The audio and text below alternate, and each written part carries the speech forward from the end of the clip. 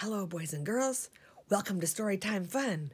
This next book is dedicated to a special boy named Ryder.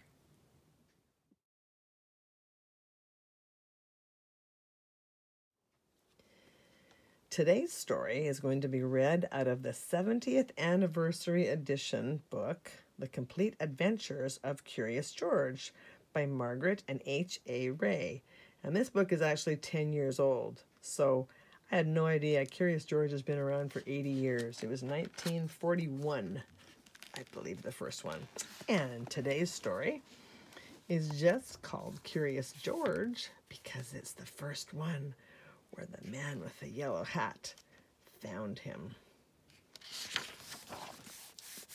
This is George. He lived in Africa. He was a good little monkey and always very curious. One day, George saw a man. He had a large yellow straw hat on. The man saw George too. What a nice little monkey, he thought. I would like to take him home with me. He put his hat on the ground, and of course, George was curious. He came down from the tree and looked at the large yellow hat. The hat had been on the man's head. George thought it would be nice to have it on his own head. He picked it up and put it on. Oh my, the hat covered George's head. He couldn't see. The man picked him up quickly and popped him into a bag. George was caught. Oh!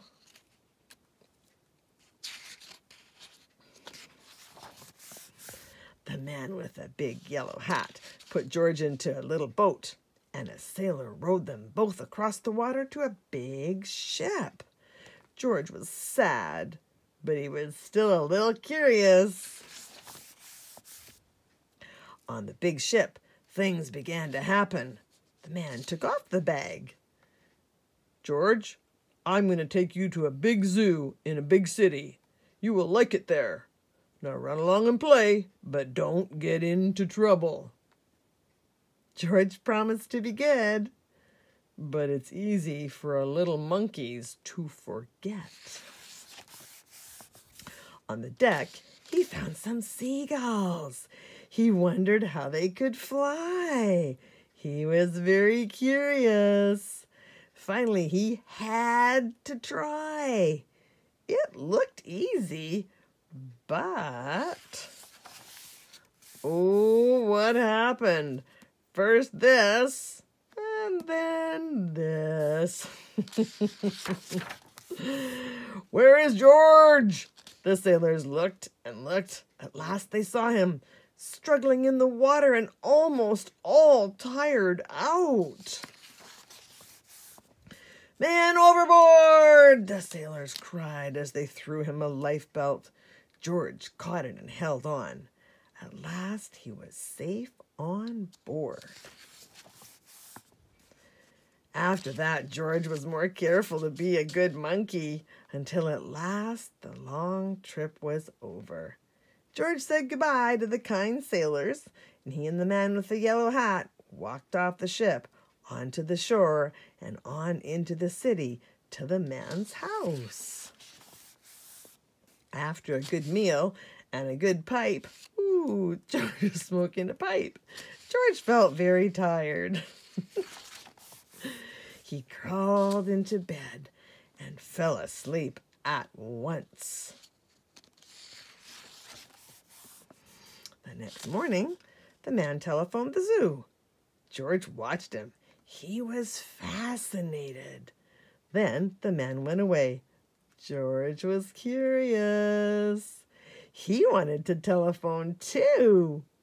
One, two, three, four, five, six, seven. What fun! Ding a ling a ling a ling!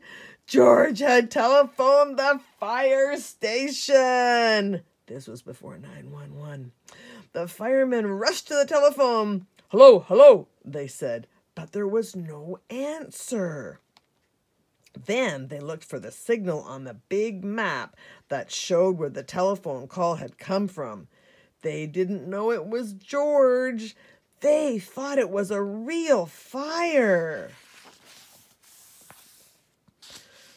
Hurry, hurry, hurry! The firemen jumped onto the fire engines and onto the hook and ladders. Ding dong, ding dong, everyone out of the way! Hurry, hurry, hurry! The firemen rushed into the house. They opened the door. No fire. Only a naughty little monkey. Oh, catch him, catch him! They cried. George tried to run away. He almost did, but he got caught in the telephone wire, and a thin fireman caught one arm, and a fat fireman caught the other.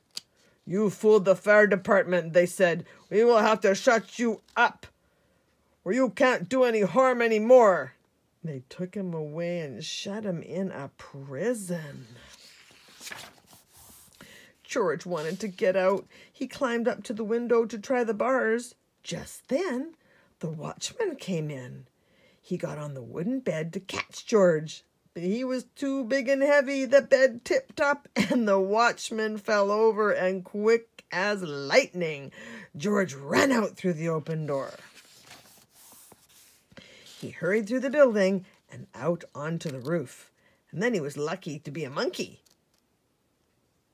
Out he walked onto the telephone wires. Quickly and quietly over the guard's head, George walked away and he was free. Down in the street, outside the prison wall, stood a balloon man. A little girl bought a balloon for her brother. George watched. He was curious again. Felt he must have a bright red balloon. He reached over and tried to help himself, but eh, instead of one balloon, the whole bunch broke loose, and in an instant, the wind whisked them all away, and with them went George, holding tight with both hands. Oh dear. Up, up he sailed, higher and higher. The houses looked like toy houses, and the people like dolls. George was frightened. He held on very tight. At first, the wind blew in great gusts. Then it quieted. Finally, it stopped blowing altogether. George was very tired. Down, down he went, bump, onto the top of a traffic light. Everyone was surprised. The traffic got all mixed up. George didn't know what to do. And then he heard someone call, George! He looked down and saw his friend, the man with the big yellow hat. Yay! George was very happy. The man was happy too. George slid down the post, and the man with the big yellow hat put him under his arm. Then he paid the balloon man for all the balloons. And then George and the man climbed into the car, and at last away they went to the zoo. What a nice place for George to live. Well, I think that's just the first story, so we'll see what happens in the rest of them. That's it for today. See you next time.